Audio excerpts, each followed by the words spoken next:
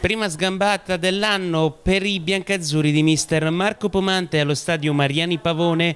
I pinetesi del presidente dottor Silvio Brocco hanno disputato un amichevole con il motignano di mister Cavicchia in una partita condizionata dal gran caldo e dai carichi della preparazione. I rivieraschi hanno iniziato a provare i primi movimenti in vista del prossimo campionato di Serie D. Per il tecnico pinetese Pomante è stata un'ottima occasione per testare i neoacquisti e tanti ragazzi del settore giovanile biancazzurro. Per il Mutignano ottimo test in vista del prossimo campionato di promozione.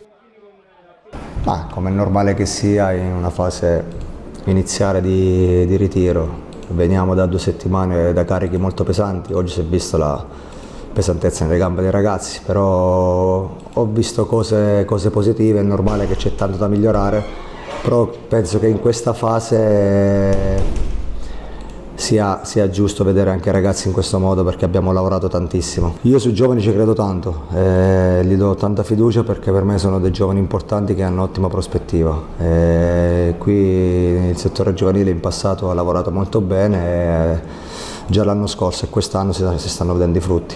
Ma è normale che ci sarà sicuramente il girone F con le marchigiane, abruzzesi e le molisane, poi penso che la Lega dovrà decidere se mettere nel nostro girone o le laziali o le romagnole.